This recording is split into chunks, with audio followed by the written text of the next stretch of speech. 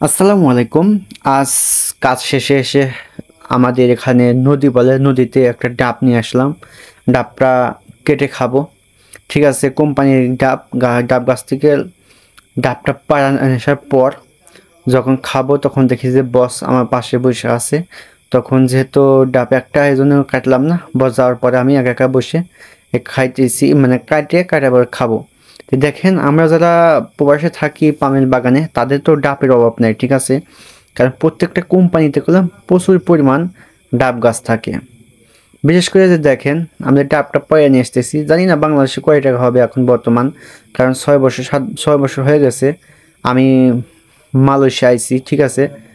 দেখেন, আমরা এখানে কিন্তু সবসময় ধরেন, কাজ শেষে এখানে এসে আমরা রেস্ট নেই। মানে গোসল দেই। দেখেন, সেই মিষ্টি ডাব। পানিটা মনে সেই মিষ্টি হবে। ডাবের মানে নারকেল যেহেতু এত মিষ্টি, দেখেন। তা আশা করি ভিডিওটা ভালো লাগলে অবশ্যই লাইক কমেন্ট শেয়ার করবেন। এমনকি পেজটা ফলো দিয়ে রাখবেন। আর ইউটিউব থেকে দেখলে অবশ্যই চ্যানেলটা সাবস্ক্রাইব করে রাখবেন। দেখেন, এটা এখন খাওয়া হচ্ছে। আর সবচেয়ে বড় কথা হচ্ছে যে, আপনারা যারা মালয়েশিয়াতে নদীতে গোসল করেন, দেখে শুনে গোসল করবেন। আমাদের এখানে তো ছোট নদী, এই নদীতে গোসল করলে কোনো সমস্যা নাই। কিন্তু থাকে থাকে তো বড় বড় নদী আছে, সেই নদীগুলোতে যদি আপনি গোসল করেন, কুমির থাকতে পারে, ঠিক আছে? এই জন্য আপনাকে বলতেছি, দেখেন।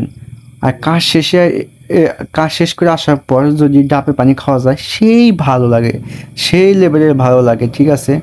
তাতে আপনার শরীরটা সুস্থ হয়ে যাবে, আপনার শরীরে যদি কোনো রকমের সমস্যা থাকে পানিটা খাইলে গেলে আপনার সমস্ত রোগ ব্যাধি মনে করেন যে একটু কম হবে, ঠিক আছে?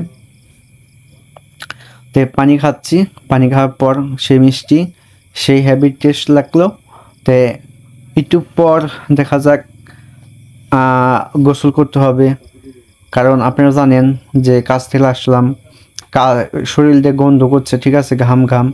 কারণ আর দেখি, এই ডাবের ডাব আছে ডাবের ভিতরে যে নারকেলটা আছে, যে নারকেলটা খাওয়া যায় নাকি? নারকেল যদি খাইতেছি অবশ্যই তো বড় নারকেল খাম না, দেখেন। আসলে কিন্তু মিষ্টি, ঠিক আছে?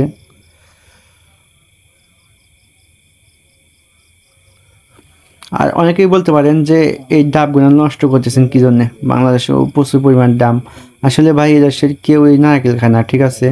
যার যদি একজন খায় পিঠা, মিঠা বানানোর জন্য এইটা এই খায়, তাছাড়া খায় না। আর বিশেষ করে মালয়েশিয়াতে কিন্তু প্রচুর পরিমাণ ডাব গাছ আর হচ্ছে এলাকা পামেল গাছ। এরা প্রচুর পরিমাণ এরা মনে করেন গোনা গোনা যাবে না, এত পরিমাণ। তে খাদি তো ভালোই লাগল। আর একবার বলতেছি, যদি আপনাদের যদি ভিডিওটা ভালো লাগে, অবশ্যই লাইক, কমেন্ট শেয়ার করবেন। যাই গোসল দিতেছি। আর দেখেন, অল্প পানির ভিতরে গোসল সাইরা ফেলা দিয়েছি, ঠিক আছে? কারণ রুমে যা গোসল করতে হবে। এখানে শুধুমাত্র গায়ের যে কেদামাটি ছিল, সেই কেদামাটিটা ধুয়ে নিয়ে গেলাম। কারণ এখানে সাবান টাবান নিয়ে এসে কে কী দিয়ে গোসল করব? দেখেন, জুতা এখান থেকে ধুইতে হবে, মোজা ধুতে হবে, প্যান্ট, শার্ট, যা কিছু আছে, সমস্ত কিছু ধুয়ে নিয়ে রুমে যাই, আবার ফের মেশিনটা ধুয়ে দিতে হবে। আর ভালো করে হচ্ছে জুতার ভিতরে আপনি ভালো করে হচ্ছে ধোবেন। তা না হলে কিন্তু আপনার আগামী কাল কাজে গেলে গেলা, দেখা যাবে যে আপনার পায়ের ভিতরে ফুটো ফুটো হয়ে যাচ্ছে। তে দেখি এখন বাড়ি বিলা যাই, কারণ শেষ হয়ে গেল প্রায় ভালো মেলাক্ষণ ধরে আমি এখানে আসি, দেখেন, এখন রুমে যাব। আর আশা করি ভিডিওটা ভালো লাগলে অবশ্যই লাইক কমেন্ট শেয়ার করবেন এবং পেজটা ফলো দিয়ে রাখবেন। ইউটিউব চ্যানেল থেকে আপনি ভিডিওটা দেখেন, অবশ্যই সাবস্ক্রাইব করে রাখবেন। আর পরবর্তী ভিডিও ভালো জন্য অবশ্যই